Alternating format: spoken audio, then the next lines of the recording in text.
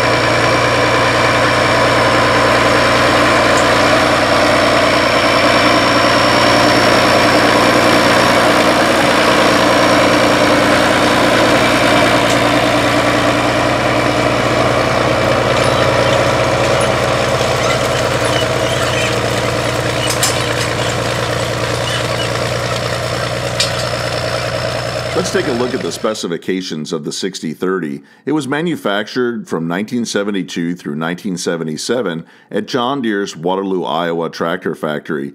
It is powered by a turbocharged, intercooled 8.7 liter, 531 cubic inch diesel engine rated at 175 PTO horsepower. An optional, naturally aspirated 531 cubic inch John Deere engine was made available in 1973, but due to poor sales, that engine was eliminated starting in 1974 as an option. Out of the over 4,000 6030 tractors produced, only 45 were built with the naturally aspirated diesel engine. The tractor features a John Deere Synchro Range partially synchronized transmission with 8 forward and 2 reverse speeds. It has a 73 gallon diesel fuel tank the factory weight of the tractor is 13,323 pounds, and it can be field weighted up to 18,180 pounds. The original list price of this tractor in the 1970s was $28,745. The 6030 is one of the most iconic tractors offered by John Deere in its 100 plus years of tractor production that dates back to 1918.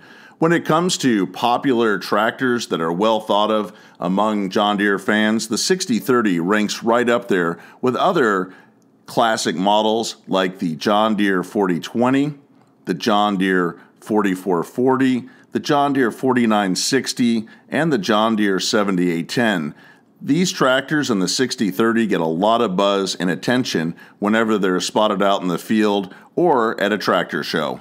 The 6030 owes a lot of its modern day popularity to its big iron look from the 1970s. It has that classic design of a 4020 just beefed up. And it also has that great sound from that 531 cubic inch turbocharged intercooled diesel engine. Interestingly, though, the 6030 was coming online just as other models like the 4020 up to the 4620 were being phased out. The new Soundguard series of tractors from John Deere came online in 1973, with the top end Soundguard model being the 150 PTO horsepower 4630. The 4630 offered modern styling, comfort and convenience with a modern day cab. The 6030 was still a big square tough looking tractor, and it topped the John Deere line of two wheel drive row crop models all the way through 1977. It really didn't quite fit into that Soundguard era, but it kept on churning out the diesel power, and again, there were just over 4,000 6030s sold during that time period. The 6030 was the last tractor to carry on the new generation design first introduced by John Deere in 1960 with the release of the 4010 and 3010 tractors. By 1978, a new generation of Soundguard tractors was coming online to replace the 30 series. That was the 40 series, known as the Iron Horses, and the top model in the Iron Horse series was the new 180 PTO horsepower model 4840. It offered the big iron power of the 6030 with the modern convenience of the Soundguard design. I hope that you've enjoyed spending time out in the south central Wisconsin field, seeing and hearing this classic 6030 at work, as well as learning about its history in the John Deere tractor lineup. If you'd like to see more videos like this one, consider subscribing to Big Tractor Power YouTube, where there are over 1,000 videos of farm machines in action. If you have any questions or thoughts about this video, please leave them in the comment section below, as I try to respond to every post that is made. If you would like to get a preview of of what is coming up next on Big Tractor Power YouTube, make sure to check out Big Tractor Power Instagram, where I share pictures and short video clips of what is currently being filmed in the field. As always, thank you for watching.